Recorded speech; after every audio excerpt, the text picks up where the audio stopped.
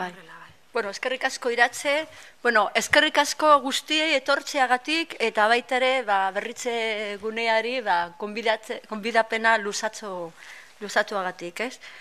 Bueno, dagoeneko ja entzun diogu e, Josep Maria Zerrari eta berak egin du nola ibilbide historikoa eta bai gaur egun e, egoera nolakoa dan gure kasuan eskolan eh, kokatuko gare, bai? Oso konstiente gara jakina gure herrian, ba egoera soziolinguistikoa oso garrantzitsua dala, baina igual osagarria izateko berak esandako horrekin, ba saiatuko gare Karmelek eta biok ba, eskolan kokatzen eta alderdi didaktiko metodologikoa, bai? Hainbat estrategiak eta orientabideak saiatuko gare lusatzen.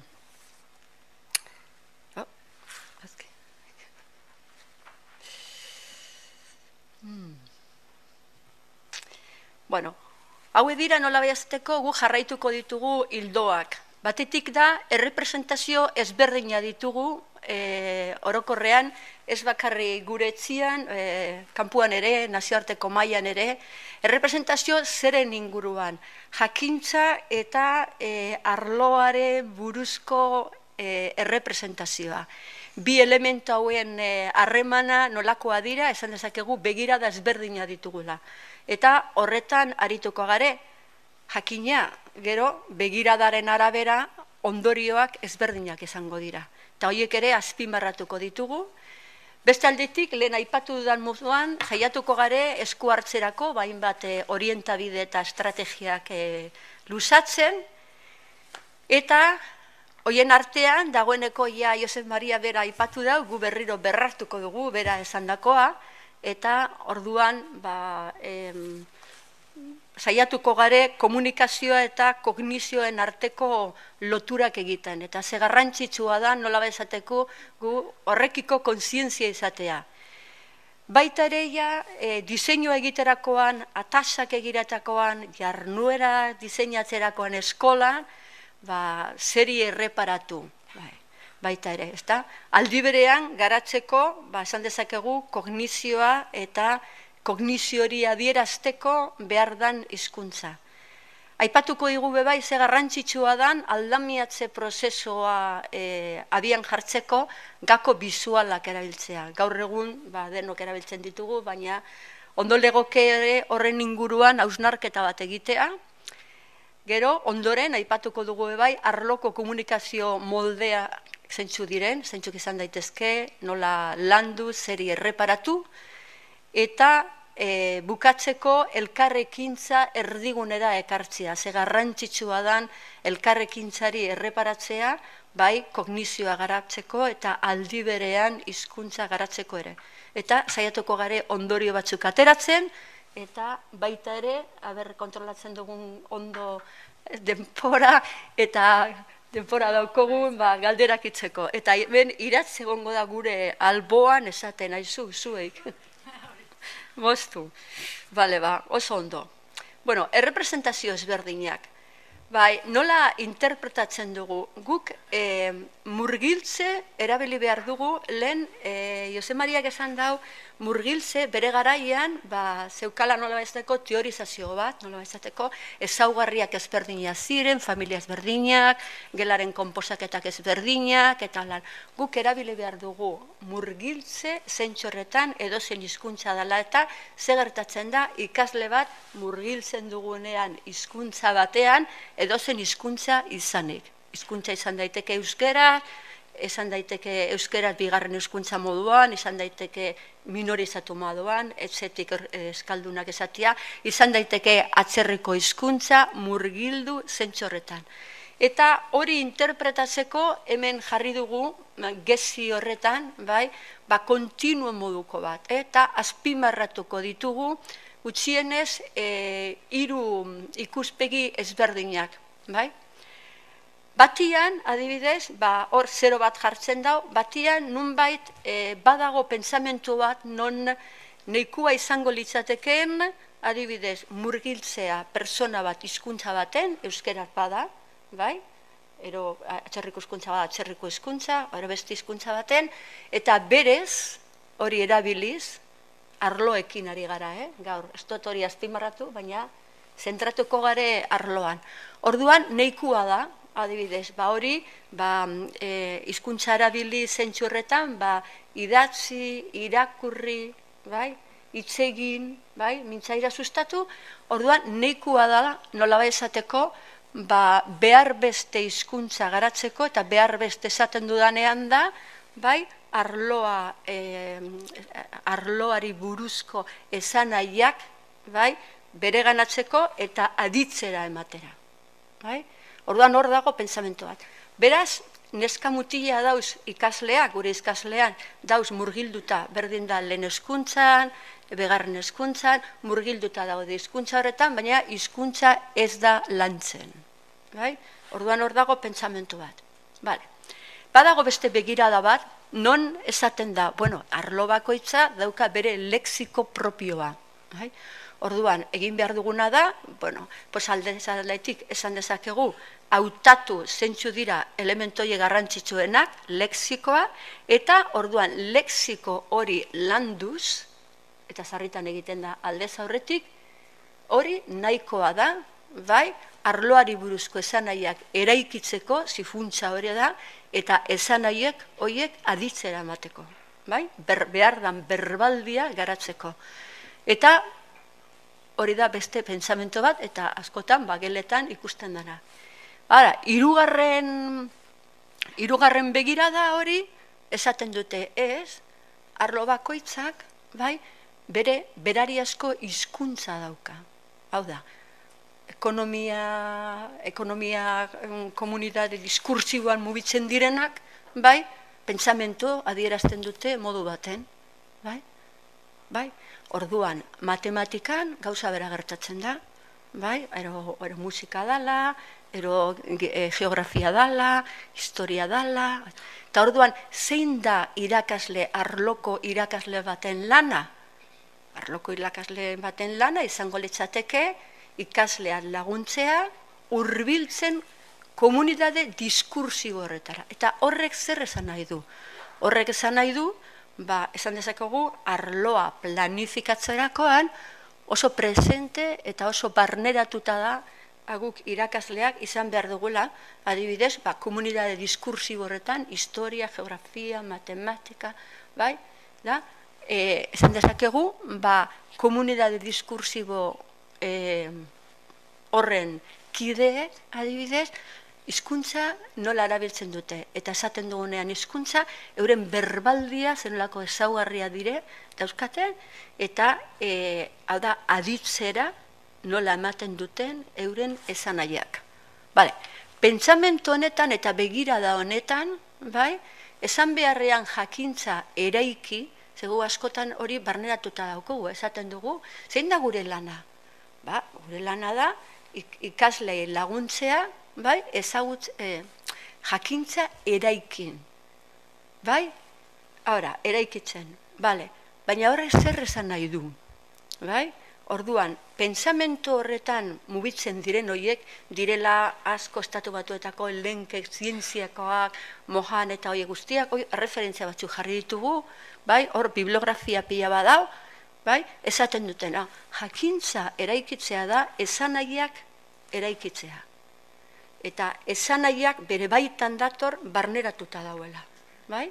Orduan gure lana irakasle garen enean, edo zen arloko irakasle garen enean, izango litzateke, e, hau da, e, laguntzea ikasleai, bai, arloari buruzko esanaiak eraikitzen. Eta hori esaten dugunean da, esaten ari gara. Eraikitzen eta behar den pentsamentu hori, eraikitze hori em, adierazteko behar den berbaldia, bai, garatzen laguntzen. Hauek esaten dute, horrek sustatuko leke, e, adibidez, ikaskuntza sakona. Eta esaten dute, helburua bada ikaskuntza sakona sustatzea, irakaskantza irakaskuntza berak sakona behar du izan. Eta hor kokatzen dira. Dagoeneko garatu dute material pila bat, e, arlo ezberdinetan, baina pentsamentu hori izango litzateke. Bai? Errepikatu behar dut, ez oso garrantzitsua. Jakintza eraikitzea, begira da honetatik, da esanaiak eraikitzea. Claro, jakitzeko adibidez ikaslek esanaia nola eraikiko, esanaia nola eraiki duten, bai? bai? Horrekin lotuta dauen berbaldia ere adierazi behar dute. Beraz, ikuspuntu horretatik, bai, esan dezakegu, e, kognizioaren garapena eta hizkuntzaren garapena, bai, bana ezina dira eta aldi berean garatzen dira. Hau da, gauza bada, ikasle batek buruz ikastea beste zarbait. Ari gara esaten esanaia eraiki. Bai? Eta esanaia eraikitzeko, ba, esanai hori adierazteko berbaldia bai, garatu behar du. Nik ez dakit zuek eh, hori ikusten dituzue zuen horlako gauza zuen geletan, baina gurian unibertsitatea gauden, eta gu eskolak ematen ditugu hizkuntza ezberdinetan, bale? Hau da, gu daukogu zuei daukogu ikas, ikasgaiak eta eta gu daukogu materiak. Lehen Jose Maria Zerra materia esaten zuen, baina gu gatoz unibertsitate mundutik, baina berdina dira. Eta gurian ematen ditugu euskeraz, eta ematen dugu inklesez ere materia askokin, eta askotan gelan esaten digute, badaki zer da nori, baina ez dakit nola esan. Aizu, orduan ez duzu ondu lertu. Ez? Zuek ere okorrez, ez da, zuen giletan e, gertatzen diarrelako gauzak. Orduan, hauek esaten dute, bana ezina dala. Zu, esan aia, eraikita duzunean, kapasa izan berzala aditzera matera. Eta ez bazara kapasa, ez bazara gai, gure ikasleen zaritan esaten du moduan, ez dakit nola saldu, horrek esan nahi du, eraiki, e, eraikitze prozesori izan aia, ez dauela ondo barneratuta. Beraz, bale. Gero, e, Jose Maria Arserra bebai transferentziak itzen du, eta esan dau, adibidez, berez ez dilera ematen, bai? Hori askotan planifikazioara egiterakoan, esaten dugu, ah, dagoeneko ja, hau, landuta daukogu hizkuntza horretan, orduan, beste horretan ez dugu landuko, ja, baina ezki hori berez ez dela ematen. Orduan, lendabiziko baldintza ikuspegi hori eh, honetatik abiatuta, bai, e, izango litzateke ikaskuntza sakona, ikaskuntza sakona sustatzea. Ze ikaskuntza sakona sustatzen, oza, sustatzen denean, eta orduan pertsona bate, okay, e, mm, beharko lukeen transferituko, beharko lukeen transferitu egingo luke. Bai?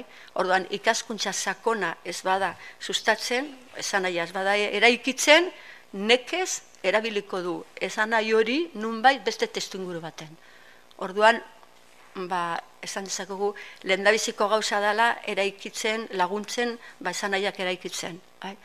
Orduan, Omen, labur bilduz, interesgarria izango litzateke beraz, ba, badaki lehen aipatu dituzue testu liburuak eta programazioak, ja berez, datos editorialetatik eta lan, ez? Baina ondo legoke adibidez, pentsamentu hori izatea, ez da, ze begirada dago hori? Osea, de, arloa nola lantzen dan hori. Eta arlo horretan, adibidez, hizkuntza ze presentzia daukan. Orduan, claro, hori importantea da, zergatik da importantea. Ze, claro, ondorioa ditu, bai? Orduan, ba, e, begirada horren arabera, bai, korpusa, hau da, edukiak. Guk erabiltzen ditugunean e, edukiak, e, badakigu gaur egun, itzen esan aia bai, azpimarratu egin behar da, ze batzuk esatu dute, edukiak ez, edukiak gaur egun ez, bueno, guk erabiltzen ditugunean e, edukiak, esaten ari gara, ikaskuntza objektuak, bai, zentsu horretan hartu. Orduan, jakina, begiradaren arabera, gu hautatzen ditugun ikaskuntza objektuak gure programaziorako, berdinak izango dira, eta orduan gure esku hartzea ere, ezberdina izango da.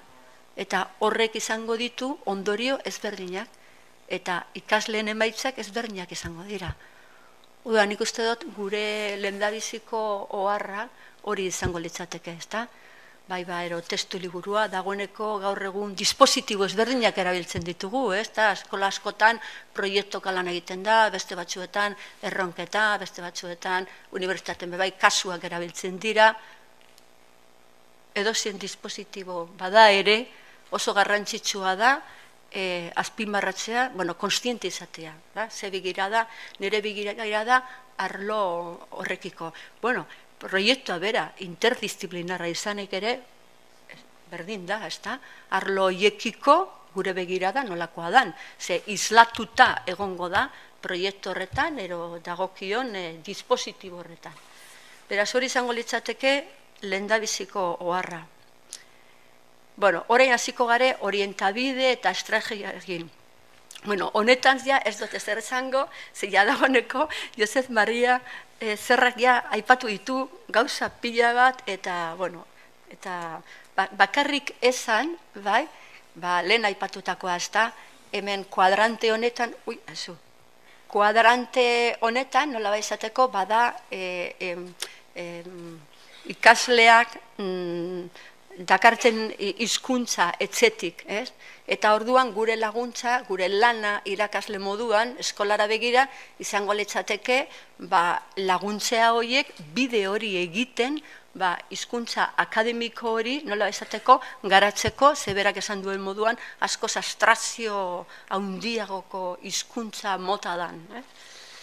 Bien. Orduan, orain diseinuan gaude, bai? eta horretarako erabiliko eh, aipatu behar dugu, apurtxo bat, e, Blumen e, taxonomia egokituta dago, dakizuen moduan, bere garaia Kraftfold e, errebizio bat egin zuen. Vale. Orduan, bigarren oharra, nik uste dut diseinua egiterakoan oso garrantzitsua da, hau da, triangulo honetan beti kasuko gare, gogoratu.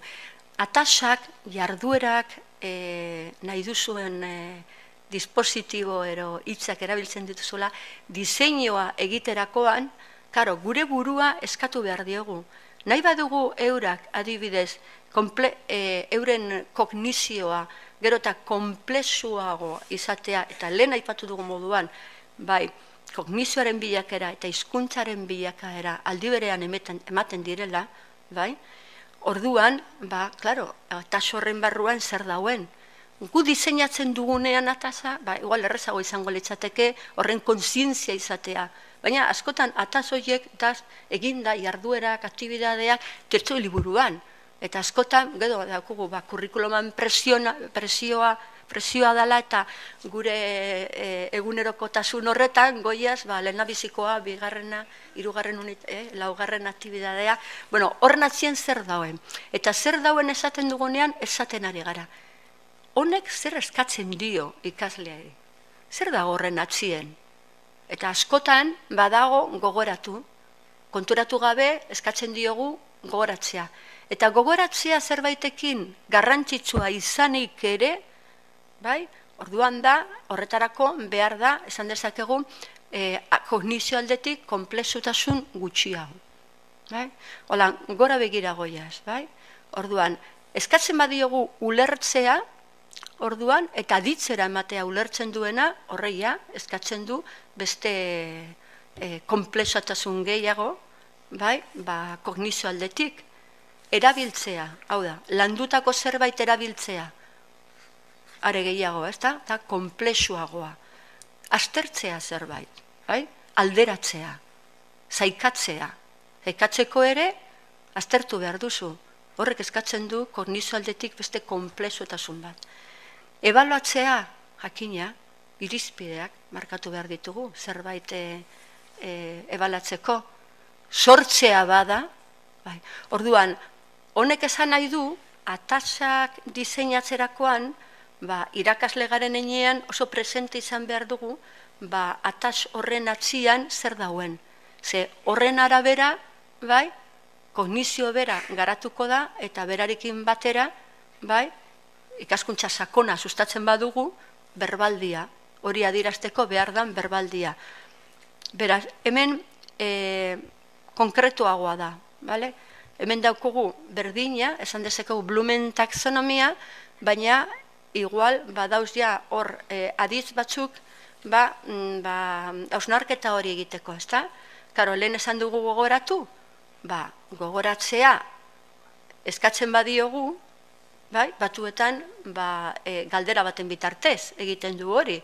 Bai, orduan, ba, e, Horren atzien zer dago? Horren atzien dago, ba, gogoratu horren atzien da, identifikatzea zerbait, alde zarrotik emandakoa, izan daiteke, ero zerrendatzea zerbait, ero eskatzen diogu deskribatzea zerbait, bai? Ikusitakoa, bai, egon garen museo baten, egon garen baiten, eta orduan hor birgogoratzeko, zer ikusi dugunan, zer egin dugun, bai? eta gero ero berreskuratzea, berreskuratzea alde horretik landutako ero ikusitako zerbait, ero izendatzea. Vale. Orduan hor, esan dezakegu, kognizio garapen horretan, bai, beko, beko behien gaudela nola esateko. Baina, jakina, garrantzia kenduri, kendu gabe. Asuntoa da, ea kostiente garen gutareko bakoitza guk ere gure unibertsitatean proiektok eta gauzak egiterakoan, ea urrenkera ote dauen. Hau da, urtean zehar, ero, hilero, ero, diseinatzen ditugun horietan, urrenkera ote dauen ero ez, bai, almentzeko lehen esan duguna, eta Josep Maria Zerrak e, kumizeko kuadrantorretan ikusterakoa, nola laguntzen diogun, ikasleari, bai, hizkuntza etxeko hizkuntza horretatik nola esateko, hizkuntza akademikara hurbiltzeko ze laguntza mota ematen diogun. Atzien dago garapen kognitiboa. Gauza bera da ulertu, bai? Orduan, ulertu, ulertze prozesu horren atzuan dago gauza bera. Hor, bai, eskatzen diogu zerbait interpretatzea, zerbait laburtzea, zenbat zerbait ondorioztatzea, inferitzea, alderatzea, azaltzea, adibidez aditzera, bai? Nabil, denpora guztien errepikatzen e, hau, ze aldiberean ematen da, eh? Hau da, batetik da kognizioa, baina berbaldia, horri dagokio berbaldia, hau da, e, batera garatzen dira, bai? Orduan, gero, erabiltzea gauza bera, bai? Eskatzen diogu, e, implementatzea, egitea, erabiltzea, gauzatzea zerbait, landutako gauza bat, eta azterketa horren atzien, pues eskatzen diogu lehen aipatutako alderatzea zerbait, bai, desera ikitzea, egotzia, topatzea, egituratzea, integratzea, bai? eta e, ebalatu horren atzian, ba, dauz, beste eskatzen diogu batzuetan ikaslei, ba, igual hipotesia formulatzea, experimentatzea, berbaldiarekin batera, bai? Ze, klaro, bai, hipotesia baten atzian da, kapasa izan bergara, hipotesi hori, ba, adierazteko, bai? Orduan, honek, e, ez, zelan da, hau, nola esateko eginda dago, Blumen taxonomia aldetik, bai, e, kognizioaren garapena izlatzeko, eta ikusteko gu ze garrantzitsua dan. Ara, gu, oi, e, honek lotura dauka handia gure ikuspuntutik berbaldiarekin ere bai. Orduan, izango litzateke, bai, da, ba, horren arabera, komplexotasun horren arabera ere, ba, garatzen duten hizkuntza akademikoa, gero eta komplexuago e, izango litzateke. Bai? Bale. Orduan, orainzten gara estrategiarekin, nolako estrategiak proposatzen ditugu. Lehen aipatu dugu, ez da, hoietako bada gako bizualak. Eta, klaro, jakina, gako bizuala gaur egun digitalizazio mundua dela eta denok erabiltzen ditugu, baina guk ekarri behar dugu hori gurera. Eta ikusteko ze garrantzitsua den hori, adibidez, erabiltzea, em, aldamiatzeko prozesua. Lehen aipatu dugu hizkuntza akademikoa beste hizkuntza dela alderatu zetzeko hizkuntzarekin, bai? Ero aurrez aurreko hizkuntzarekin eta orduan e, hizkuntza akademikora heltzeko irakasleen lana ezinbestekoa da. Aldamiatze lana ezinbestekoa da. Zenbat eta konplexuago izan zerbait, gelan esan nahi dut, arlo baten, orduan eta aldamiatze handiagoa beharko luke e, ikasleak, bai? Jakina gaur egun ja berak aipatu dau, ba gure realitateen ere anitza da, ezta? Guk tasko gu ja adibidez, ba, e, eskola baten nuz murgiltze eredua da erabatekoa, beste batzuetan da parzialka, par, e, e, murgiltze parziala, beste batzuetan e, ikasgaiak lantzen dira beste hizkuntza batzutan, bai, etorri berria ditugu, eta lan, orduan, aldamiatze prozesua e, oso garrantzitsua da. Beraz, guk hau proposatzen dugu, zertarako, ba, esan nahiek eraikitze prozesua aldamiatzeko. Eta baitare, aldamiatzeko euren berbaldia, bai, esan nahi horiek adierazteko. Beraz, elitzateke moda bat, ez litzateke da digitalizazio gaur egun ze garrantzitsua da, eta hau da moda bat, eta deno, hasi behar gara infografiak egiten, eta gauza horiek, bai? Orduan, atzera, horretzien badauz hainbat, hainbat gauza, bale? Hau zertarako erabiltzen ditugu, bai? Karo, ja, aparte, ez dut lehen aipatuko, baina gaur egun ja onartzen da, Adibidez, eskolan erabiltzen dira, arloan erabiltzen dira testuak multimodala direla, eh? Zueik adibidez, arloari erreparatzen badiozu, eh? basarritan dago, dago testua, dago grafiko bat, dago taula bat, dago denporalerroa, osea, dira, eh, arloa adierazten da, eh, modalidade ezberdinak eh, erabiliz. Eta hori da, es, eh, eskolari dagokio, ba, e, testuak arloetan erabiltzen diren moduan lantzea, bai? Barne multimodalera da. Balez, hemen esan dugu lehenan jakintza eraikitzea dala esanaiak eraikitzean. Karo, testu bat, hau baliogarria da adibidez, eurak gu jakitzeko e, testua bera nola ulertzen dut ulertu duten eroez. Hau da, nola eraikitzen ari diren, adibidez, ba, esan dezakegu, esan nahia, ezta? Testu baten, idatziko testu baten, dauen e, esan nahia. Claro, persona batek ikusten badu kapasa dela, testu baten e, hartu hor, eta hor ematen diren ekintzak, eta adierazteko ze kausak e, sustatu dituzten ba, ekintza horiek eta ze eragina izan du eta ze ondorio izan duen, orduan hor bi gauza ikusiko ditugu. Batetik, da, eraikintza, nola eraikitzen ari dire arloko esanaiak, eta baita ere hizkuntzaldetik euren berbaldira, berbaldia e, adierazteko, esanaiok adierazteko, ba, esan dezakegu, ze utxun dituzten, ze garapen esaten ari gara, bai? Orduan, e, karo, hau gero ja, zuei dakizuen moduan, ba, adinaren arabera, maiaren arabera, ba, hor, egiten duguna da, egokitzapenak egiten dugu, bai? Eta hau da asko sinpleagoa. Bai?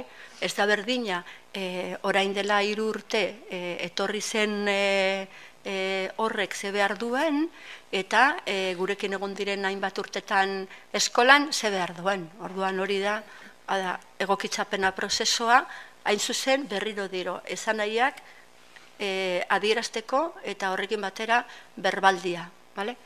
Hau da, izan daiteke bebai, modelaje egiteko, bale?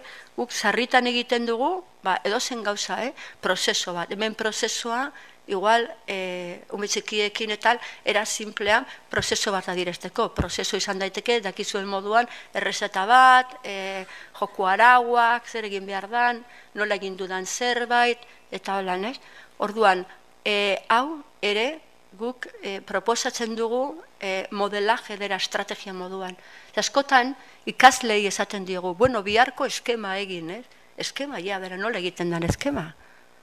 Eskema eskatzen du, eskema berak eskatzen du sekulako ulermen maila, bai? Blumen taxonomia horretan, bigarren horretan, bai? Orduan, claro, a ber, hori ez da berez lantzen, eh? Jakintzat ematen dugu, egingo dutela ondo, ja, eta guk modelaje egin behar dugu. Eta modelaje egitea testu inguruetan zer esan nahi du? Aurrian daukogula testua, nola bezateko, guk aditzera ematen dugu ze prozeso jarraitzen ari garen, eta denon aurrian, adibidez, ustiatu egiten dugu testua bada, bada reseta edo zen gauza, eta ekartzen dugu nonbait gako bizual honetara. Beraz, baliogarria dira, nola esateko gugeu modelaje egiteko, bai? Eurak aldamiatzeko euroan prozesua eta jakitzeko eraikitzen nola, nola eraikitzen ari diren esanaiak eta baita ere ze gabezi eta ze laguntza behar duten berbaldi esanaioek adierazteko. Hizkuntza akademikoa. Karo, prozesua balen aipatu dugu, ez da berdina lehen eskuntzakoak, ero ez da berdina, atzo ero arain egun etorri ziren hoiekin, ero dagoeneko, ba, DBH-en helengo mailan egon diren gurekin urtetan. Eta ordan gako bizuala nunbait e, egokitzen dira, izan daitezke simpleagoak, izan daitezke askoz komplezuagoak, talan, ez? Bale, mapa konzeptualak, hemen dakuzu, bat simple, simple, ba, ez da berdina adibidez, ba, personai baten ezaugarriak eh, adieraztea, e, ume txikiekin, bai? Orduan, gure laguntza aldeamiatzen prozesoa da, modelaje ginez, bai? ero, esan dezeko mapa konzeptual komplexua ba, adibidez, ba, DBH-ko, gurekin egon diren hainbat urtetan DBH-ko laugarren mailan, ez? Orduan da horretarako, baina berriro diot, elitzateke izango soilik mapa konzeptuala egitea, ez da? Konstiente izan bergara, esan nahi hori aditzera eman behar duela. Osea, berbaldia, berbaldia akademikoa, arloarekin loturikoa, horren arabera e, garatuko da. Esperientzia mapa, igual umitzekiekin, gauza bera, ze motivazio, ze motivazio egonda, ekintza baten atzien. Eta horrek nun bai ze eragina izan duen non. Bueno, pues, gako bizualak e, gauza ezbernietarako. Konparaketak, bai, lehen aipatu dugu, ba, komplezotasun horretan, konparaketaia alderatze prozesua eskatzen du beste kognizio aldetik, beste komplezotasun bat, eta baita ere beste berbaldi bat, ez? Sakonagoa ero komplezuagoa den e, berbaldi bat, ba, gauza bera, ba, adinaren arabera, egin genuke e, gako bizual simpletxo bat, ero askoz e, kompleto, bai? Orduan, hau da gure ikasleek egindakoa. E, gako bizualak erabiltzen dugu e, bebai adibidez outputat adierazteko. Vale? Gurian adibidez hemen ba, erronka bat, erronken bitartez e, ikasten dute gure ikasle, ikasleak, ezta? Orduan erronka za nola bezateko informazioa bilatu behaketak egiten eta orduan ikusi behar zuten lehen hezkuntzan ze berrikuntza mota behar zuten. Hau dira etorkizuneko irakasleak, ez? Orduan, hainbat astetan taldeka, harakatu, behatu eta hori guztia eta ja daukate prestauta eta prestatzen dute eskatu beharrean testu, idatzizko testu bat, hori da beste aukera bat, bai, eskatzen diogu sintesi ikaragarrundia eskatzen du honek ekartzia hori gako visual batera. Infografia, nahi dutena. Karo, eta gero berbaldu, e, berbaldia ikusi behar dugu, ze, klaro, hau gero, derun artean aurkeztu behar dute. Orduan, sarritan ere, ba, eskatu beharrean idatzizko testu bat, hori da e, aukera bat, bai, orduan, eskatzea bai, gako bisual bat erabiliz adieraztea egindako lana, eta gero aditzera ematea egindako lana. Claro, honen atzian sofistikazio handia dago. Ze, claro, e, azaldu behar dute, pentsa, e, berrikuntza bakoitzaren atzean zer dauen, nola interpretatzen duten, zer esan nahi du e, inklusibitate hori gelan, zer esan nahi du horrek, eta gero baitare zergatia, orduan berbaldia, e, komplexua da. Bueno, ba, hau izango litzateke, bagako bizualak, estrategia moduan eta aipatutako horretarako. Eta orain ja, pasatu behar diot e, hitza nere lankidei karmele eta bera jarraituko da, ez dakit nahi duzun aldatzea. Bai, igual hobeto, ez? Ez igual da. Bai, egin garrela eta listo. Bueno, zergatik ematen diogu hainbeste garrantzi e, pilik azaldu duen e, estrategia horri ba, gertatu zaigulako batzuetan, ikusi izatea irakasleek e, e, beraien lanak eta landu dituztenean, esan diegunean, bueno, eta nola hori gero ikasleekin, eta eskemak eskatzen diezu, eta, ah, ez, ez, ez, eskemak guk ematen diegu, eta eskematik ikas dezatela azterketarako. Eta, klaro, guri iruditzen zaigu hori dala, ukera galdu ikaragarria, zegero, e, esaten dugu ez daukatela nahikoa gaitasun. E, eta esaten ari gara, e, pensamentu espezifikoa nola baitez, arloarekiko pentsamentua, hizkuntza espezifikoa nola jorratuko ditugu, espaldin badugu, jakintza eta jakintzaren barneratze prozesu hori esplizitatzen, ezta?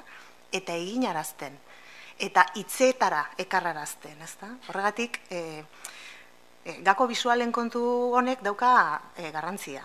Eta gainera gehienetan, e, zehaz, mugatzen dugu mapa kontzeptualetara askotan, ezta? Eta badaude hainbat aukera. Eta orduan, hau bada modu bat ikusteko ze aukera dauzkagun gela barruan ikasleen e, ezagutza eta hizkuntza gaitasuna nolabait areagotzeko, laguntzeko, aldamiatzeko, bai? Hortik datorrapur bat, e, pixka bat insistentzia hau, ezta? Gako bizualekin batera, iruditzen zaigu oso kontutan euki behar ditugula arloko komunikazio moldeak, ezta? Eta arloko komunikazio molden barruan, eta ia gauza batzuk, jau jartzuna daukate, ezta? E, leksikoa hitz egin du e, apur bat pilik, e, ikuspegi diskursiboa hitz egin du Josep Mariak, beraz, bai, badoaz apur bat, saiatuko gara pixkatxo bat e, behar bat zehazten edo, edo kokatzen. Eta gero, e, hemen agertuko zaizkigu baita ere, pensamentu egiturak edo mikrogeneroak, ez da? Ikus dezagun, bauek e, zer diren. Lexikoaz e, ez dizuet ez errezan behar, danok dakizue, le, e, arloekin, edo zein arlo dala ere, ez da? E, literaturako arloa, hizkuntzetakoa, e, zientzietakoa, e, e, gorputzezkuntzakoa, bakoitzak badu bere terminologia, bere bere hizkuntza berezitua, bere lexiko berezitua, ezta? Orduan, e, kognitiboak, kognitiboki konplexuak diren kontzeptu horiek era kokatuan landu alditugu arloaren barruan, ezta? Ez daude e, isolatuta nolabait. Eta gero badakigu, zenbat eta lexiko gehiago ulertzen duten, orduan eta hobea izango dala ulermen trebetasun hori. Beraz, irakasleari zer dagokio, ezta? Hemen lan egitea.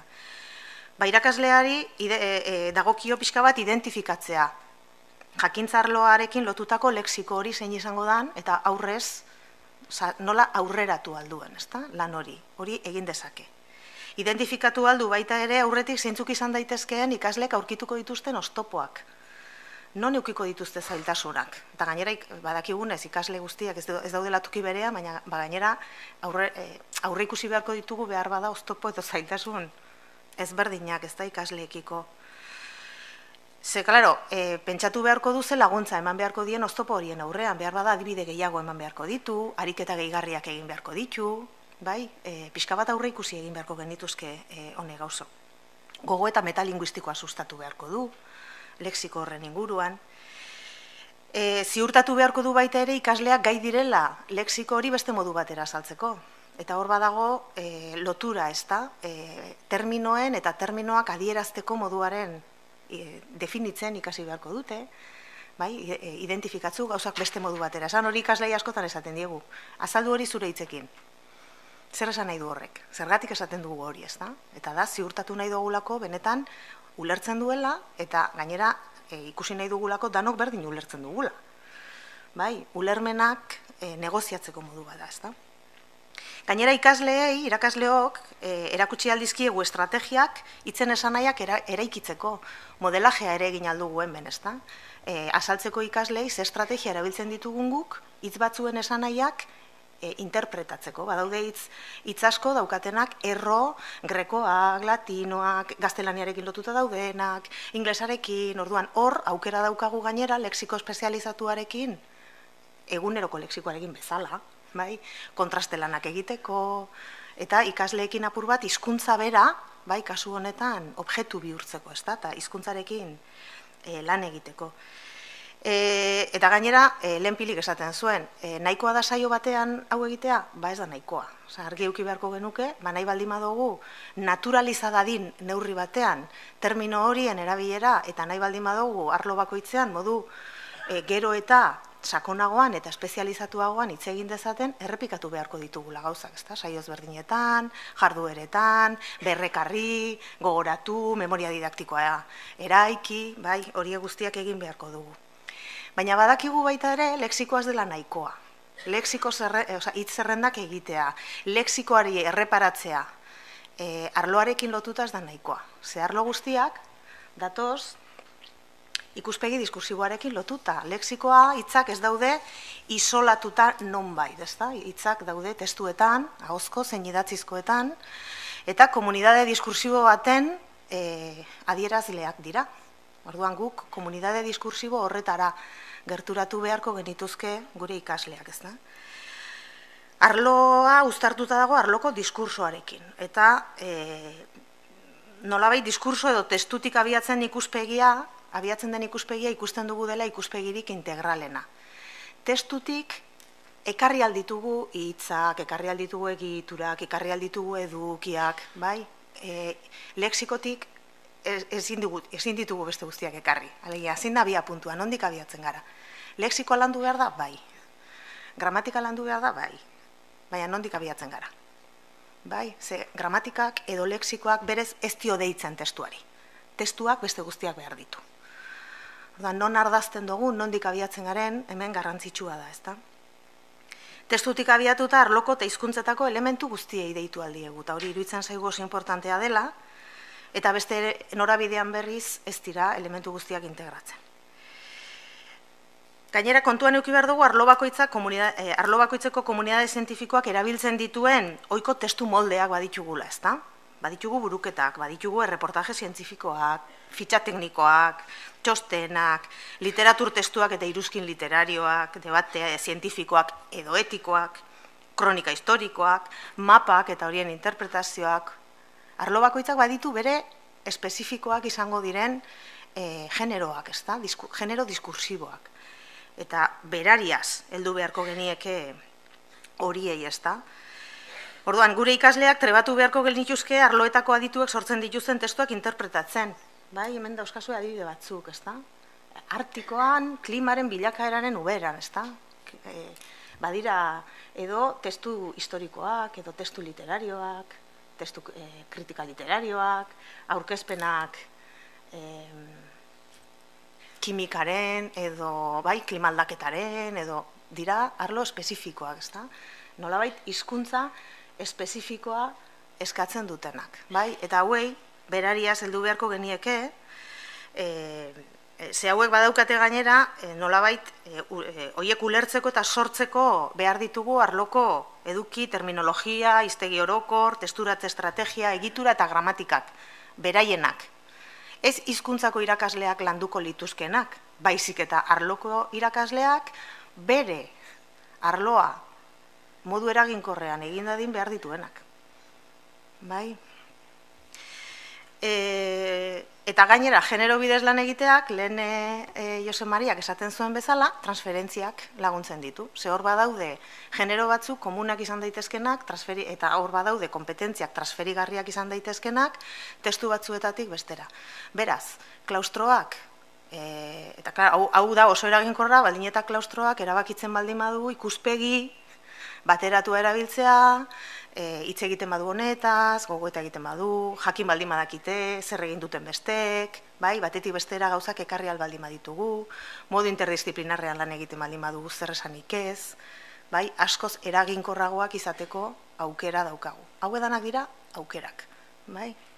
Pixka bat, guk e, oztopo eta utxune zat jotzen ditugunak, Ze ez baginak ejatuko ez genuke honetaz hitz egingo. Baina nora, utxuneak ikusten ditugun, ba, ikusi behar dugu non jarri alditugun e, tresnak, ezta? Eta gero kontuan euki behar dugu, ba, e, genero batzuetan trebatzeak ez, du, ez duela sanai beste genero batzuetan trebeak izango direnik. Bai, ez da berdina, debate zientifiko baten parte hartzea, itzaldi bat ematea, buruketa matematiko bat ebasteko hitz egitea, bai, ez da berdina. Bai, eta ez da berdina seguru asko debatea gaietiko baten inguruan baldin bada edo baldin bada bai, e, auskalo zertaz. Beraz, trebetasun ezberdinak eskatzen dituzte eta bakoitzak bere lanketa eskatzen du. Eta hori, arlotik egin daitekeen zerbait da, arloan integratzen e, baldin badugu, ezta? E, eta, eta fijatzen baldin bazate, bain eta berriz ari gara erabiltzen landu hitza. Eta hau bada, eskoletan askotan errepikatu behar den zerbait, ezta? Ze galdetzen degunean, ze arlo, lan, ze genero lantzen dituzu eta ite dituzte zerrenda oso luzeak. Eta egia da, arlo asko ikutzen dira. Baina landu eta erabili ez da gauza bera. Eta orduan, hau izaten da, ba, abia puntuko gogo eta bat, ezta? Apur bat ikusi beharko genukela, ba, erabiltzeaz gain, e, e, horren kontzientzia horren e, sakon ez da, egin behar dugula, eta behin lantzen dugula, orduan bai, has gaitezkela, transferentziak egiten, beste batean landu dena erabiltzen, bai, baina lehenengo e, e, lanketa hori egin egin behar da modu esplizituan, ez da, hori, e, hori garantzitsua da. E, jakintza arloarekin lotutako esan dugu hainbat testu erabiltzen direla, eta testu horietan gainera hainbat, eh, hainbat egitura identifikatzen dira, ezta? Gomendioa da, nolabait e, identifikatzea errepikatzen diren egitura horiek. Bai, ze, testu generoak esaten dugunean, ba, ikusten ditugu bere osotasunean, e, hainbat ezaugarrirekin, eta hor badaude, mikrogenero moduan edo, bai, e, deitu alditugun, ba, egitura jakin batzuk, errepikatzen direna gainera arloetan askotan, bai, eta e, oso lotuta daudenak trebetasun kognitiboekin, bai, eta orduan e, interesgarria da, berariaz, arreta jartzea, horrelako mikrogeneroetan. Ikaslei esan, esate hau azaldu izu, baina ez baldin badugu azalpen horretarako nola definitzen den, bai, definizioak nola egiten diren, edo bai, e, ez badugu lantzen, edo kausa eta ondorioa nola adierazten den, bai, batzuetan ez dakitena da adierazten, falta zaizkie hitzak eta falta zaizkie egiturak. Orduan, pentsatu behar dugu, e, eskatzen ari garen ariketa horretarako zer dan behar dutena. Hori berari landu, bai, ikusi behar den biztan euki, nola, ikus, nola e, irudikatzen dugun, nola lagunduko diegun e, gelako ikasleak dauzkagun e, egoeraren arabera, ezta? Edo ariketa eren bat gehiago, eta hau ez da hizkuntzako irakaslearen lana. Bai, ze behar dute, debate hori egiteko, behar dute e, buruketaren azalpena egiteko, behar dute, aigea arloa zitze egiten. Baina arloa ezin da deslotu bere berbalditik. Bai? Edo hori da bintzat e, guk uste duguna. Bueno, orduan, e, kausa ondorio harremanak ulertuta adierazten trebatu beharko genituzke, inferentziak ulertuta adierazten, bai? Edo hipotesiak ulertu eta formulatzen, edo datuak biltzen, antolatzen eta interpretatzen, eta horiek egitura batzuk eskatzen dituzte. Eta egitura e, e, egitura horiek lantzeko ba, askotariko egoerak sortu beharko genituzke. Bai? E, hori da pixka bat gure lana, ezta? E, jakintza arlo bakoitzan gehien errepikatzen diren egiturak praktikatzeko eta erabiltzeko egoera komunikatiboak sortu beharko ditugu. Bai? Gero egoera komunikatibo errealetan erabiltzeko gai izan daitezen. Guk horretarako trebatu behar ditugu. Bai? E, testu ez gain, oso garrantzitsu ikusten dugu gelako elkarrekintza erdigunean jartzearena. E, danok dakizu ezer den elkarrekintza, e, seguru asko izango da eskolan eta gelan daukagun e, aukerarik eta egoerarik ugariena eta hausartzen naiz esatera eta igual eh, desaprobetxatuena baita ere. Bai? E, gelako elkarrekintzak suposatzen du elkarrekin ikasteko aukera. Baina ez bakarrik elkarrekin ikasteko aukera, baizik eta hizkuntza gaitasunean trebatzeko aukera ere. Bai? Eta orduan, e, berariaz hartu behar dugu, pensatzen dugu diseinatu behar dugula, bai? Elkarrekintzaren izaera, estebek esaten du dialogikoa dela, ezta? E, eta dialogikotasunak suposatzen du ba, ba elkarrekikotasun prozesua dela, ezta? E, hor parte hartzen dugunok elkarri aitortzen diogu munduari dago, munduari buruzko jakintza. Bai, dano dakigu zerbait. Hemen dana dakiena ez da irakaslea. Honek aldatzen digu hezkuntzaz daukagun ikuspegia. Baita ere. Alegia, ez dugu bakarrik hizkuntza hitz egiten eta ez dugu bakarrik arloa hitz egiten. Hitz egiten dugu irakaskuntza eta ikaskuntza ulertzeko moduaz, ezta neurri handi batean.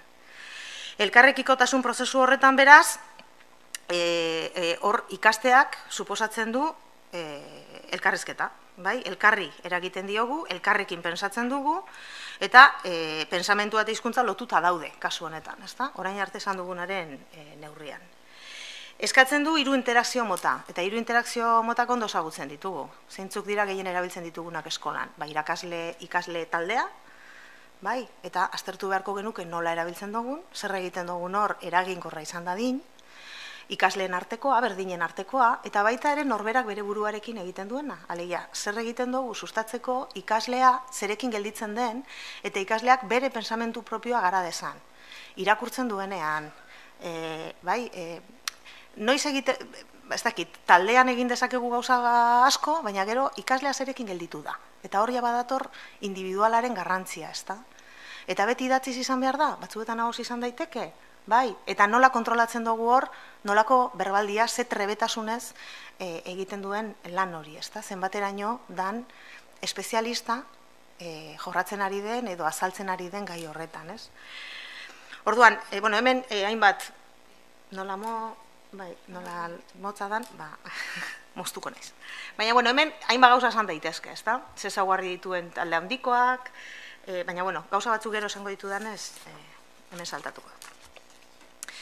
Bueno, kontua da, modu honetara, e, elkarrekintza honek eta gelako dinamikak bermatu behar duela, e, nolabait esperimentatzea, esperi, e, e, bermatu behar ditu erronkak, bermatu behar du norber, norbanakoaren garapena, ezta? Osea, guk elkarrekintza egiten dugunean, e, helburua ez da elkarrizketa bat izatea irakasle ikasleen artean. Ez da hori bakarrik. Ziurtatu nahi dugu elkarrizketa horren bidez, garapena gertatuko dela ikasleen ezagutzan eta ikasleen berbaldian. Beraz, ze galdera mota egingo ditugu? Galdera guztiek balio dute? Ez dago galdera hon edo txarrik, baina galdera guztiek ez dute balio momentu berean. Ez, ez dute balio, bai? Gainera, e, ikerketek ere erakutsi digute, e, aztertu dira, geletako berbaldiak, zeinek hitz egiten du, taldea osoko, fijatu zeaten noiz bait? Ikerketek ere e, esan dute, e, gelan gertatzen den berbaldiaren euneko irurogetan magost, irakaslearena dela. Ikasleena uneko geita boz, zati hogeta bost ikasle, ze aukera dauka benetan ikasle bakoitzak, bai, ahosko jarduera horretan aritzeko, bai, eta begira, eh, begira aukera dagoela, gelan. Ze aukera dauka, berbaldi hori luzea izan dadin, berbaldi hori gero eta sakonagoa edo sofistikatuagoa izan da din, ezta? Zenbateraino baliatzen ditugu aukera horiek. Bai? Bada, e, seguru asko irakasle artean egin behar dugun gogoeta bat. Bai? Ikusteko apur bat hori e, zela, zela landu aldogun. E, elkarrekintzaren funtzioa zein da? Ba, ezagutzaren e, eraikuntza gidatzea, ezta? horretarako egiten dugu. E, eta pensatzen dugu galdera erantzunen bidez egiten dugula, baina klaro, askotan egiten ditugun galderak e, dira mm, ze maitza atera zaizu bost, oso ondo. Eta zuri, eta zuri, eta zu zen zuri zendun da mendiraigo. Eta zu, piztina jun. Eta zu, ulertzen diazue, nora noan. Eta hori batzuetan hori da importantea, eh? batzuetan helburua soziala da. Baina beti baldin bada soziala, gure berbaldi e, espezializatu hori ez da inoiz agertuko. Orduan, aukerak horregatik dain importantea diseinua. Pentsatzea, jarduera bakoitzian, zeri emango diogun garrantzia. Ba, gaur importantea izango da guztia egitzea ematea. Eta batzuetan hori oso importantea da. Baiz, helburua da soziala. Baina beste batzuetan, helburua da ezagutzaren garapena, eta da kognitiboagoa, eta orduan galderak izango dira beste modu batekoak, eta eskatuko ditugu hipotesiak, eta eskatuko dugu ondorioetara iristea, eta eskatuko dugu. Eta beste batzuetan da linguistikoa. Ze elkarrekintzak ematen du, badu, dimensio, dimensio anitza da elkarrekintza. Elkarrekintzak erakutsi digu, gauza asko dituela bere baitan. Gu normalean irakaslei hasieran galdetzen genienean, e, elkarrekintza nola erabiltzen zuten, esaten zigutena zan, e, beraientzat importantea zala ikasle guztiek hitz egitea punto. Bai, eta klaro, hori bakarrik ez da. Eta hori bakarrik eh, irudikatzen baldin badugu elkarrekintzarekin aukera galdua da. Baita ere, eta klaro, behar dugu aukera hori. Bai. bai. Orduan, e, gainetik, elkarrekintzaren funtzioa izango da hizkuntza garatzea, eta hor, irudikatu behar dugu, diskurso kolaboratiboa sustatzea. Eta kontuan eki behar dugu e, hizkuntza kompetentziaren garapenean ere ardatza dela, ez bakarrik ezagutza, baizik eta hizkuntza bera ere, lantzeko garrantzitsua dela, eta etekin ateratzeko iruditzen zaigu badaudela irugako, ezta? bada eredua beratxe eta emankorrak identifikatzea eta sustatzea gelan, eta hor hainbat pista eman daitezke, elkarrekintza diseinatu egin behar dela, aurrez pentsatu beharko genuke, zer nolako dinamika, zer nolako giro, zer nolako hitz, zer nolako berbaldi sustatu nahi dugun ikasleen artean, eta elkarrekintza bere ikas objektu bihurtzea, alegia ikasleak trebatu behar ditugu, elkarrizketa horietan aritzen. Bai, eta jakin, ba, e, ze e, hizkuntza dan e, interesgarria, e, konzesioak egiten ikasi behar dela, e, bai, e, linguistikoki eta eta sozialki, ez da? Hemen badago hitz oso importante bat, hor ikusten duzuena, eta da, intentzionalitatea.